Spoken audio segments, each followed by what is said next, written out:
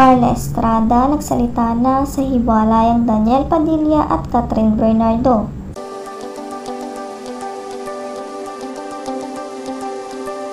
Hindi na nakatiis pa ang inang Daniel Padilla na si Carla Estrada sa katotohanan sa likod ng issue tungkol sa hiwalayang Daniel at Catherine.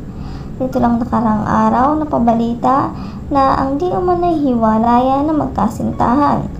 Ayon sa source, third party umano ang hinihinalang dahilan ng hiwalayan nila Daniel at Catherine.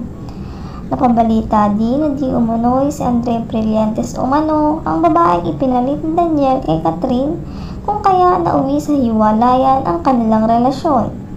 Mas tumindi pa ang espekulasyon ng mga netizens sa hiwalayang Catherine at Daniel dahil sa mga larawan ni Daniel at Andrea na magkasama.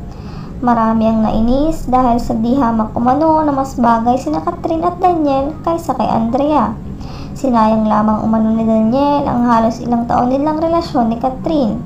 Samantala, usap-usapan naman ngayon ang naging pahayag ni Carla Estrada. Ayon kay Carla, hindi umano totoo na hiwalay na sina Daniel at Catherine. Busy lamang umano ang mga ito sa kani-kanilang mga project kung kaya hindi na madalas makitang magkasama ang mga ito. Totoo umano, going strong pa din umano ang relationship ng anak niya at ni Catherine.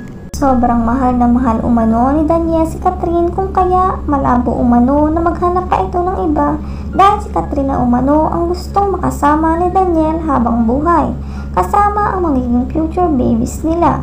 Sa naging pahayag na ito ni Carla, marami ang natuwa dahil may forever talaga umano ang Katniel. Hindi na umano sila makapag-antay na mag-isang dibdib sina Catherine Bernardo at Daniel Padilla.